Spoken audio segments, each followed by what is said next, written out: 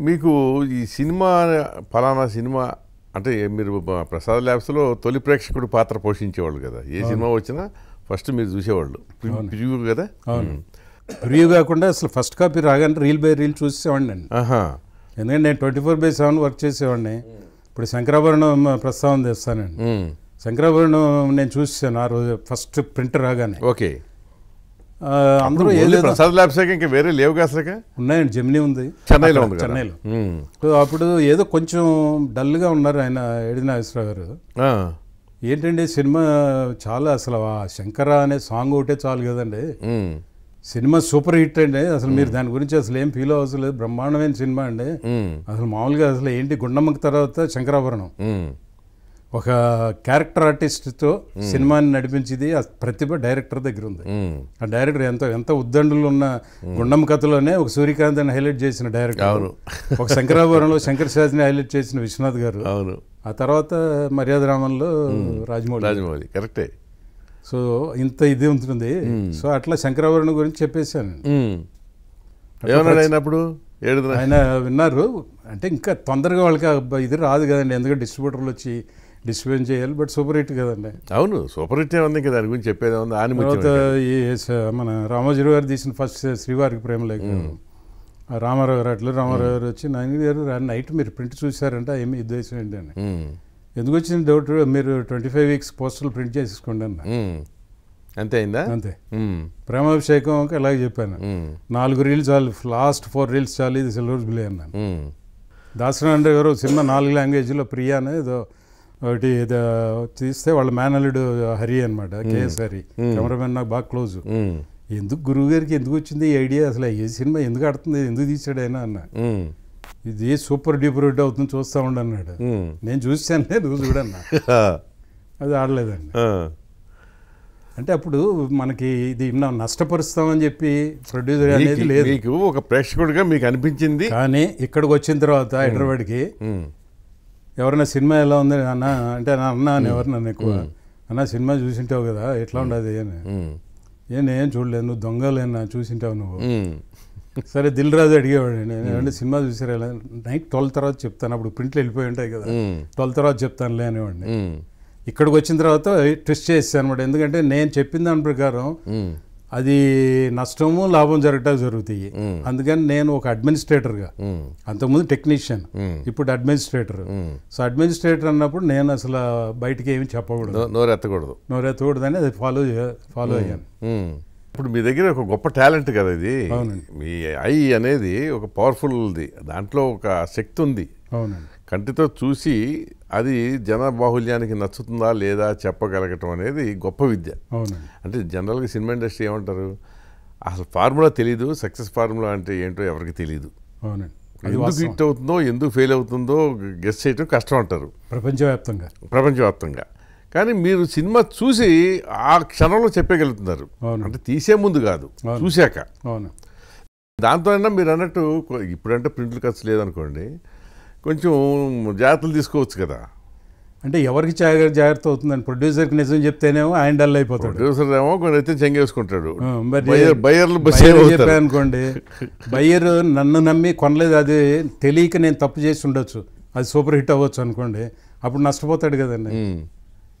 So అందుకని ఇది ఏ విధంగా చూసుకున్నా కూడా మంచి కాదనుకుని అట్లా నిర్ణయం మనకు అనవసరమైనది అవును ఆ విద్యను ఆ ప్రసాద్ ల్యాబ్స్లో ఉన్నంత వరకే వాడారు.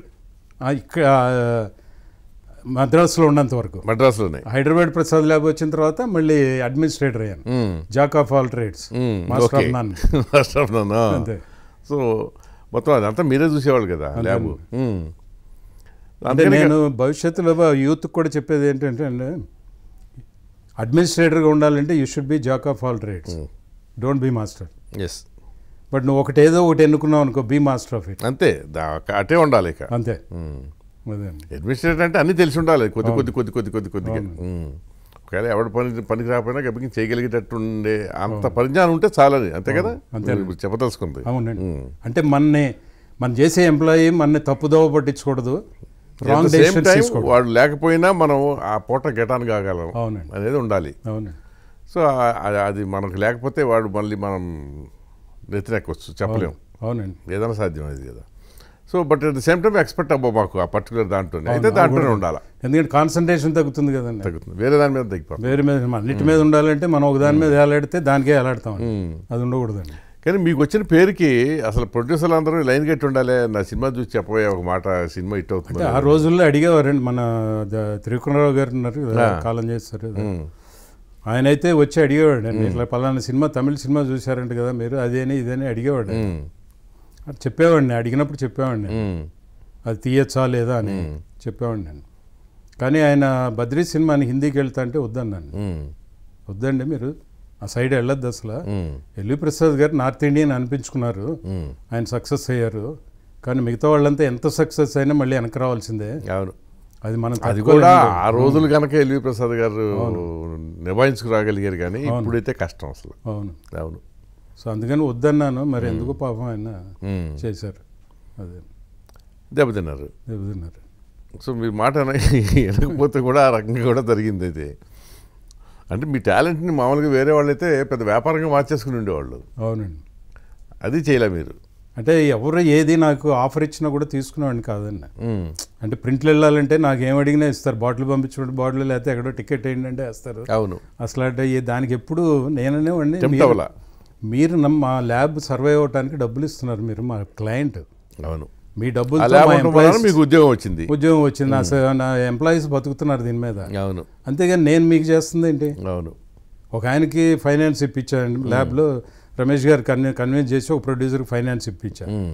ఆ రిలీజ్ టైంలో ఆయన ఒక పెద్ద ప్యాకెట్ తీసుకొచ్చి రమేష్ గారి రూమ్లోకి తీసుకెళ్ళి ఆయన లేరు అప్పుడు. మద్రాసులో ఉండే తీసుకెళ్ళి ఇదిగోండి మీకు ఎందుకన్నా. ఫైనాన్స్ ఇప్పించారు కదండి అందరికీ కమిషన్ ఇస్తాం ఇట్లా ఇప్పించినా అంటే అంటే నా కంపెనీలో నాకే కమిషన్ ఇస్తారా అన్న. అదేంటండి మరి ఈ కంపెనీ నాదండి. అదే కదా. వెళ్ళేవారు మీరు మాకు సినిమా మా దగ్గర ఉండాలి. ఫైనాన్స్ ఇవ్వకపోతే మీరు ఇంకో ల్యాబ్కి వెళ్ళిపోతారు. అందుకని చేశాను అది నిలబెట్టుకున్నాను నేను. నేను మీకు థ్యాంక్స్ చెప్పాలి కానీ ఇదేంటండి? అట్లా అయింది. ఏం వద్దు వెళ్ళండి అన్న. తర్వాత ఇప్పుడు ఇంతకాలం తర్వాత వెనక్కి తిరిగి చూసుకుంటే అన్ని ఎక్కడన్నా రిగ్రెట్ ఫీల్ అవుతుంటారా? రిగ్రెట్ ఫీల్ అవ్వకూడదండి. ఎందుకంటే మనం ఏం చేసినా కూడా ఆ రోజుతో మర్చిపోవాలండి. చెడు మాత్రం గుర్తుంచుకోవాలండి. అంటే కరెక్టే అది మామూలుగా అయితే అది కరెక్ట్ పర్ఫెక్ట్ థీరీ అవునండి. కానీ జీవితంలో వచ్చేటప్పటికి ఏంటంటే ఎన్నో ఒడిదుడుకులు ఉంటాయి. అవునండి. కొంత పైకి వెళ్ళిపోయి ఉండొచ్చు లేదు కిందకి పడుతుండొచ్చు. అవునండి. వచ్చిన అవకాశాన్ని సద్వినియోగం చేసుకోలేకపోయామే అని కొంచెం వెనక్కి తిరిగి చూసుకున్నప్పుడు అనిపిస్తూ ఉంటుంది అప్పుడప్పుడు. అవునండి. చాలామందికి అనిపిస్తుంది అది. అవునండి. అదే ఒక రకమైన చిన్న సైజు పశ్చాత్తాపం ఉంటే. అవునండి. ఇప్పుడు మీరు ఆర్థికంగా బాగా స్థిరపడ్డారా? అంటే ఆర్థికంగా స్థిరపడ్డానో లేదో కానీ హ్యాపీగా ఉన్నానండి.